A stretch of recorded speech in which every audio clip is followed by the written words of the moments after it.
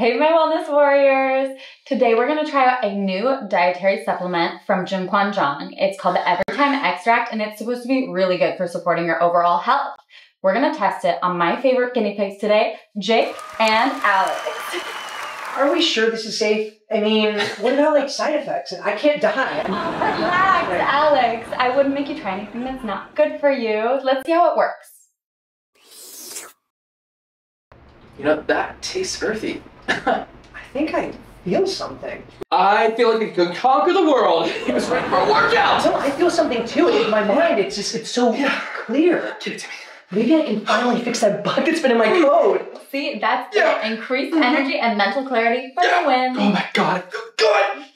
Well, there you have it. Tune in next time to see what happens. Oh, you know, I also read somewhere that Korean red ginseng helps with stress. So maybe you can keep me calm during those late night coding sessions. I'm glad you guys are loving it. Next time, maybe we'll try something new. You know, as long as it tastes as delicious as this, I'm down.